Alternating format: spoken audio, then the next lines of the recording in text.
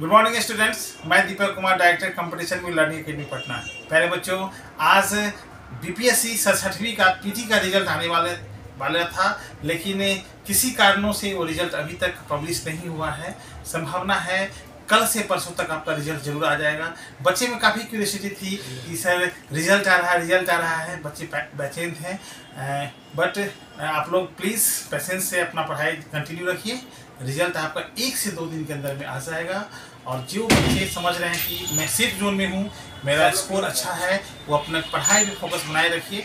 अपने मेंस के लिए आप तैयारी में लगे रहिए। आपका रिज़ल्ट बिल्कुल होगा, परेशान होने की कोई आवश्यकता नहीं है। Okay all the best. Good luck. All BPSC certificate PT aspirants.